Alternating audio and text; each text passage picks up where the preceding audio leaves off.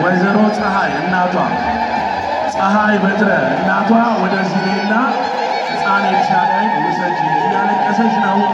የሕፃን ኤልሻዳይ እናት ወደዚህ ላይ እልል ብላችሁ አመስግኑ፣ እልል ብላችሁ አመስግኑ።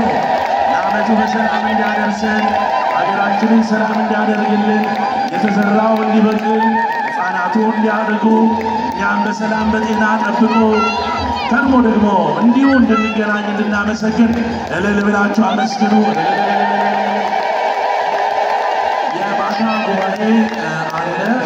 ማታ በጊዜ ሁላችሁም መምህራን ተጋብዘዋል፣ ዘማሪያን ተጋብዘዋል። መጥታችሁ የማታውን መርሃ ግብር እንዲሁ አብረን እንሆናለን ማለት ነው። እንግዲህ በጣም እጅግ ብዙ ገንዘብ ሰጥታችኋል። እጅግ እጅግ አድርገን ነው የምናመሰግነው። ቅዱስ ገብርኤል በወጣ ይተካ እያልን እንዲሁ ቃል መግባት የምትፈልጉ አካውንትም መውሰድ እንዲሁም ደግሞ የቃል መግቢያ ሰነድ እዚህ አውደ ምሕረት ላይ አለ። በዚህ በቃል መግቢያ ሰነድ አማካኝነት መብታችሁ ቃል መግባት ትችላላችሁ።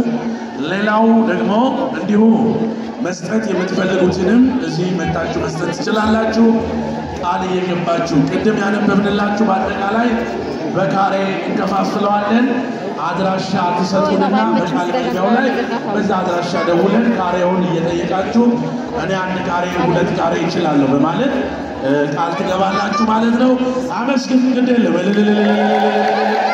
አመስግኑ አመስግኑ ቅዱስ ገብርኤል አባታችን አዎ አናንያን አዛርያን ሚሳኤልን የረዳ እኛንን የሚያግዘን የሚረዳን ታላቁ መልአክ እሱ ነውና እንዲያግዘን ለዓመቱ እንዲያደርስንም በር ላይ ስትወጡ መገፋፋት እንዳይኖር ሕፃናት ይጠፋሉ። አሁንም እዚህ ሕፃን ኤልሻዳይ እዚህ አውደ ምሕረት ላይ ትገኛለች። እናቷ ፀሐይ እባክሽን መተሽ ውሰጃት፣ አታስለቅሻት። እየሰማሽ ከሆነ ፀሐይ የምትባይ መተሽ ውሰጂ። ኤልሻዳይ ትባላለች።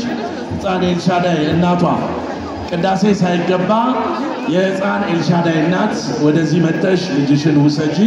ወደዚህ ወደ አውደ ምሕረቱ መውጣት አይቻልም።